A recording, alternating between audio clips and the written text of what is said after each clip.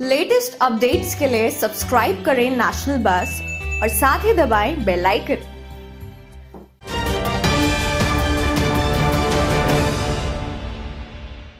पिहोवा की पहली राहगिरी को लेकर क्षेत्र में लोगों में ज़बरदस्त क्रेज दिखा। लोगों ने राहगिरी का जमकर लुत्फ उठाया। सुबह छह बजे से पहले ही लोग सरस्वती के पावन तट पर इकट्ठा होने शुरू हो गए।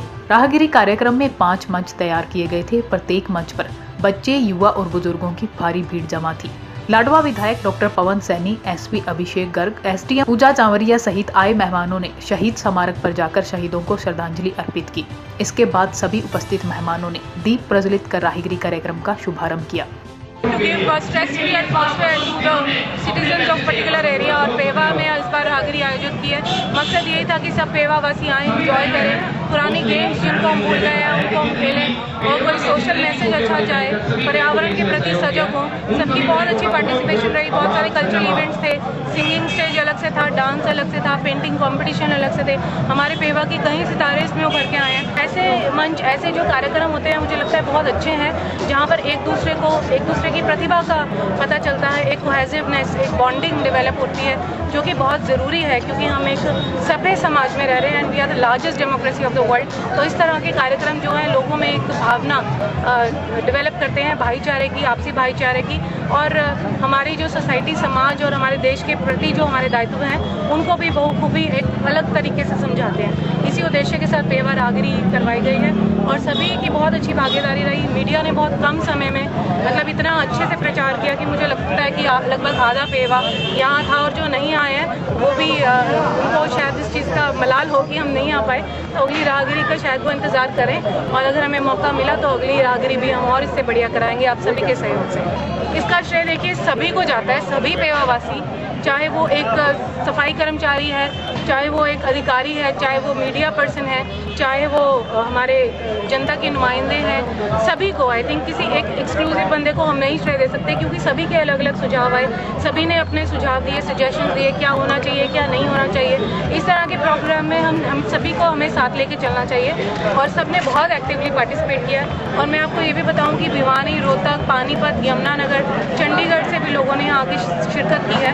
और कई जगह के तो एडमिनिस्ट्रेशन का भी स्टाफ यहाँ आया जब उनको पता लगा कि पेवा में राहगिरी है तो अपने आप में बहुत ही अच्छा एक्सपीरियंस है।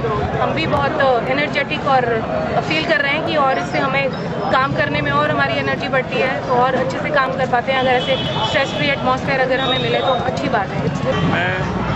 राहगिरी का प्रोग्राम किया है, इसके लिए मैं जिला प्रशासन का और हरियाणा सरकार को बहुत बहुत बधाई देता हूँ, जिन्होंने एक ऐसा प्रोग्राम रखा जिससे हम जनता को मिलजुल कर एक दूसरे के साथ प्यार का संदेश दे सकें और लोगों को नशा मुक्ति के लिए जो ये कार्यक्रम चलाया गया इसके लिए मैं जिला प्रशासन का और हरियाणा सरकार का बहुत बहुत धन्यवाद करता हूँ और लोगों से एक ये अपील करना चाहता हूँ कि एकजुट होकर इसी तरीके से भाईचारा बढ़ाएँ, क्योंकि तो उनको भी पता लगे जो हमारे अफसर लोग हैं, वो भी हमारे भाईचारे के लोग हैं, जिनके साथ हमारा प्यार हमेशा बना रहे और सुख शांति बनी रहे। और इसके लिए मैं जिला प्रशासन और हरियाणा सरकार का धन्यवाद मैंने इसके अंदर और जो मेरे साथ गाँव झांसा से जितनी भी ग्राम पंचायत और मेरे साथ जो लोग आए उन्होंने बहुत अच्छा क्योंकि यहाँ पर जो रंगारंग कार्यक्रम रखा गया, लोगों को जो हमारी पुरानी जो इतिहास था, उसके बारे में भी अवगत कराया गया और इस तरीके के कार्यक्रम चलते रहे और लोगों को हमारे पुराने इतिहास के बारे में भी पता लगता रहे, जो कि कोई काबिल तारीफ़ है। हम बहुत अच्छा लग रहा है हम सारे यहाँ पे। हम टूबोर पब्लिक स्कूल की पूरी टीम है यहाँ पे और हमारे सारे बच्चे आए यहाँ पे और हमें बहुत मज़ा आ रहा है। राहगिरी से हमें बहुत अच्छा एक मौका मिला है कि बता सकते जो चीज़ें हम रोज़ नहीं अपनी लाइफ में करते, वो हमारे बच्चों ने आज करके दिखाया है। And so very good us chance to do these kind of the activities.